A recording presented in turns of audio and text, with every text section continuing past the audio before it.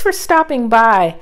I'm going to show you some really cool things you can do with your iPhone on iOS 9. I'm your iGadget lady and I do the research so you don't have to, so stick with me.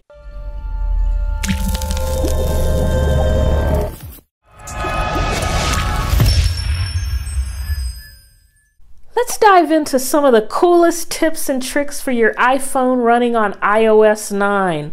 The first thing, you can manage storage on your iPhone. To do this, go to Settings, click on General. Next, you want to click on Storage and iCloud Usage. Now, once you're here, you're going to see the storage from your iPhone and also the storage in iCloud.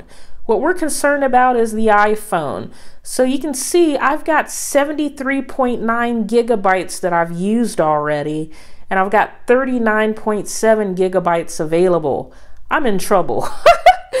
anyway, so to manage that storage, what you want to do is click on that manage you can see now which apps are actually using the most storage or the most space on my iPhone. So I need to clean that up. What I'd start with is this Photos and Camera app where I've got 27.7 gigabytes that I'm using.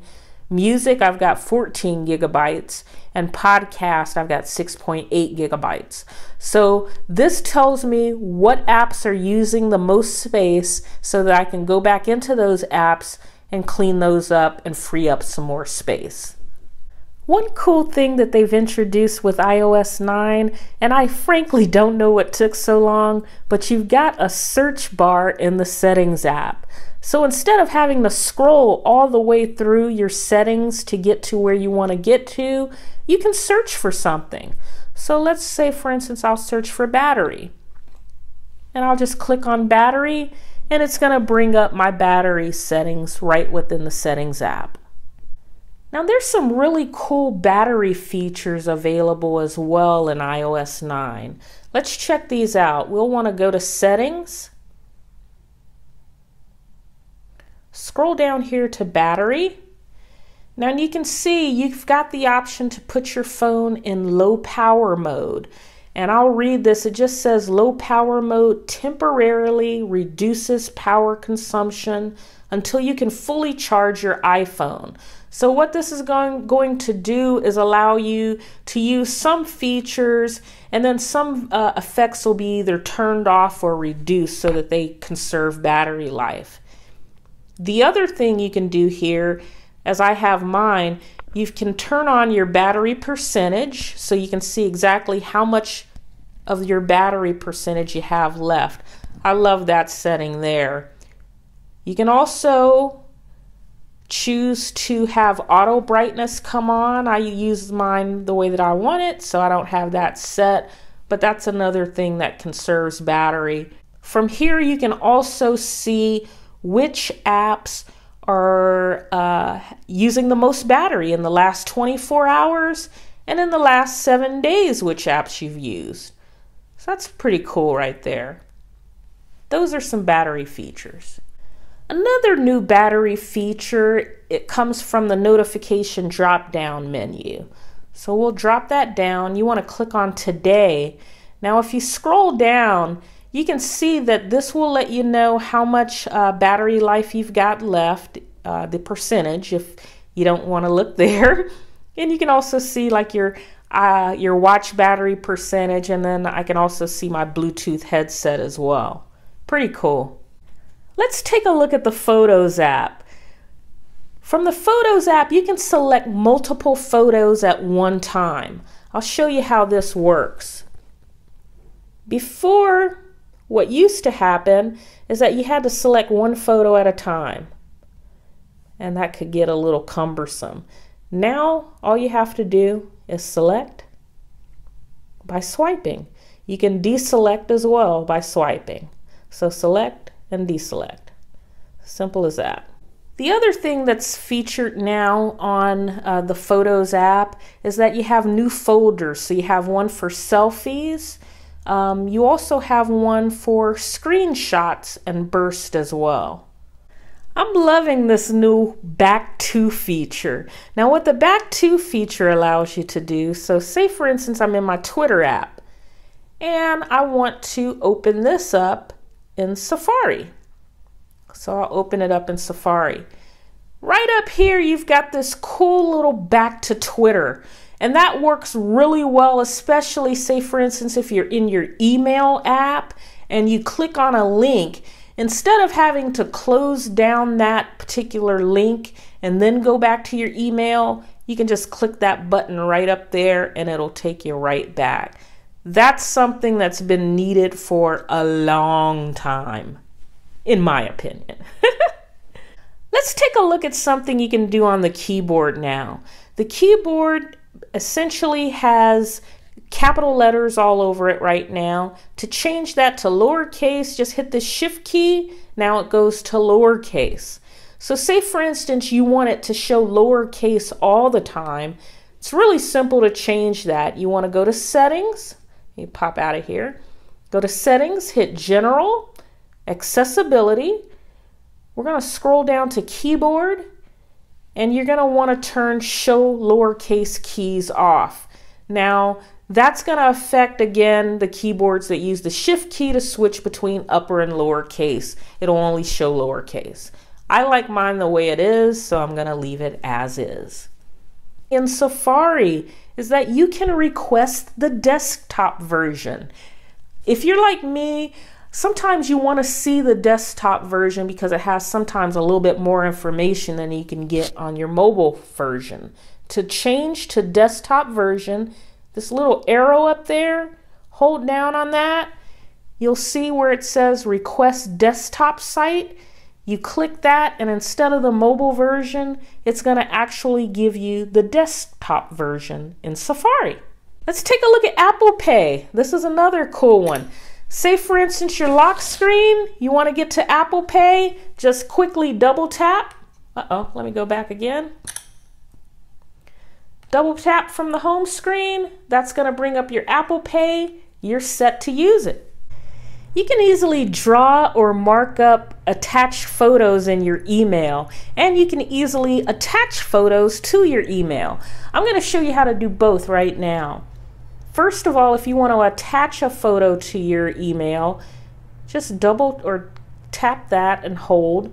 Click on this arrow, hit insert photo or video. Choose that photo. And before I send it, say I want to mark this up, I'm going to hold the photo, click on markup.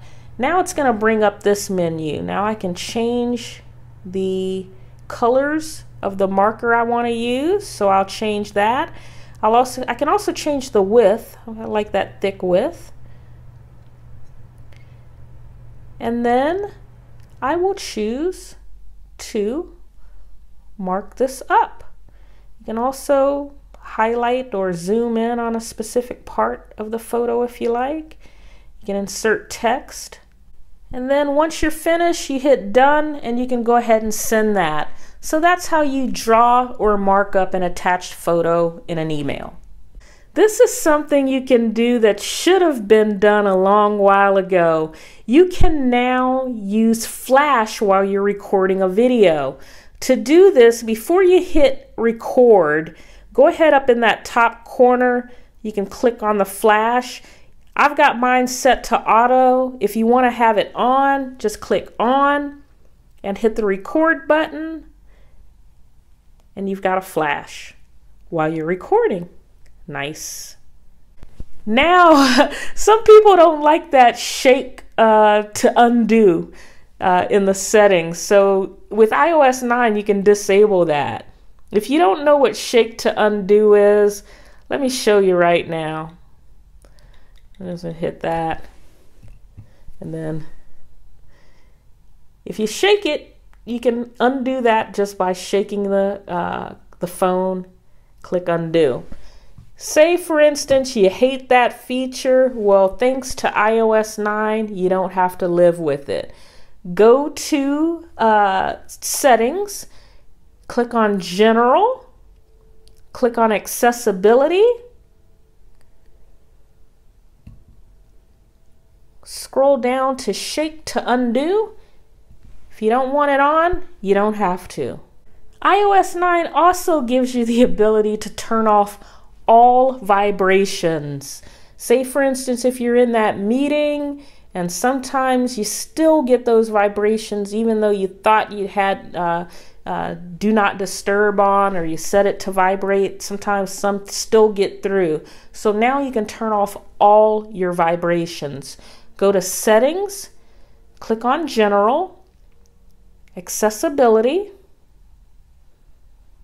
We're going to scroll down to vibration. I've got mine on. If you turn off, when the switch is off, all vibration on your phone will be disabled, including those for earthquake, tsunami, and other emergency alerts. So that's how you turn that off. With iOS 9, we also got 4K video. The only problem is that 4K video takes up a ton of space. So you can choose which types of uh, output options you want set on your camera. To do this, you want to go to Settings, scroll down, and right here, Photos and Camera, we're going to open that up. Under Camera, you will be able to change uh, the record or video recording and our slow-mo recording. You've got the options of 720 HD at 30 frames per second, 1080 at 30 frames per second, 1080p at 60 frames per second, and 4K at 30 frames per second. This will show you down here a minute of the video is going to use approximately how much space. So for 720, 60 megabytes, and the difference between 720 at 60 megabytes and 4K at 375 megabytes. So again, uses up a lot of space. So I don't choose to use the 4K, but I'm fine with using uh, 1080p uh, HD at 60 frames per second. And again, you can change that on slow-mo as well. You've got the choice between 1080p and 720. Now let's check out some new features with the Notes app. The Notes app comes now with this plus button. What's cool about that is that you can add checkbox or boxes, like if you want to put together some type of checklist for you, you can do that.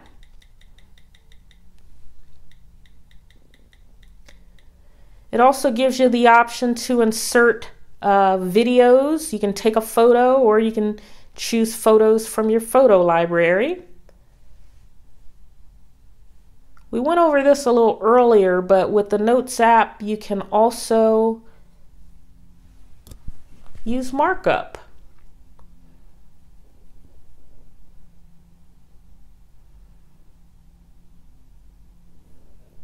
So you want to just experiment with that little plus button. There's a lot of different things you can do in the Notes app.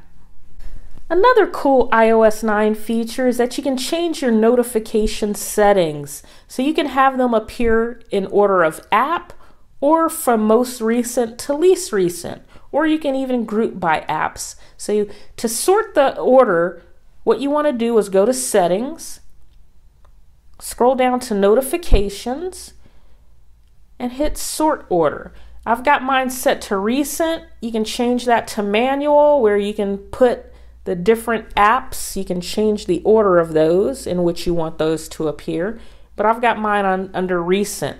You can also sort by app, which I don't want that on either, but that's an option for you. So that's how you change the order and also um, the settings as far as your notifications and how they appear.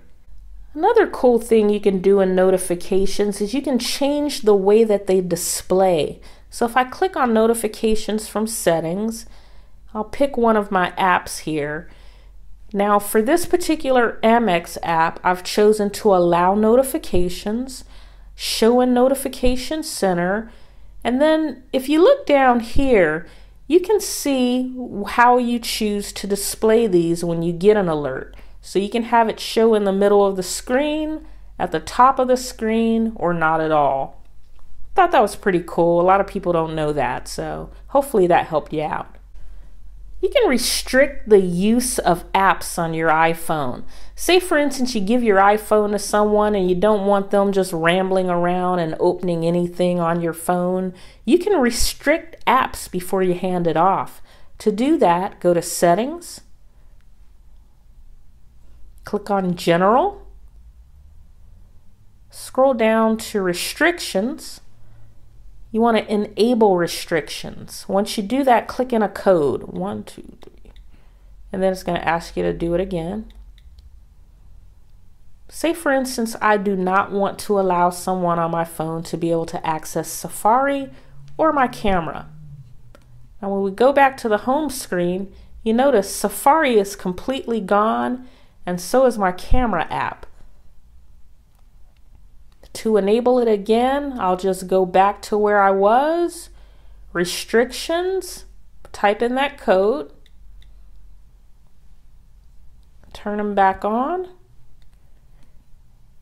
Now you can see Safari is there and so is my camera app. Say for instance, uh, you're playing a game and that game makes you swipe up like this. You don't want that control center popping up every time you do that. There's an easy way you can turn that off. Go to Settings, scroll down here to Control Center, Access within apps, you want to turn that off. Now, once that's disabled, you can still access uh, the control center from the home screen, but while you're in an app, it won't work. So there you have it, some of the coolest tips and tricks for your iPhone running on iOS 9 or iOS 9.2. If this helped you, please hit that like and subscribe button down there. It'll help a lot for this growing channel. Thanks again for watching. Also, make sure you're on our VIP list. You can get weekly iPhone, iPad, and Apple Watch how-tos, tips and reviews straight to your inbox. I'll leave that link below as well. See you next time.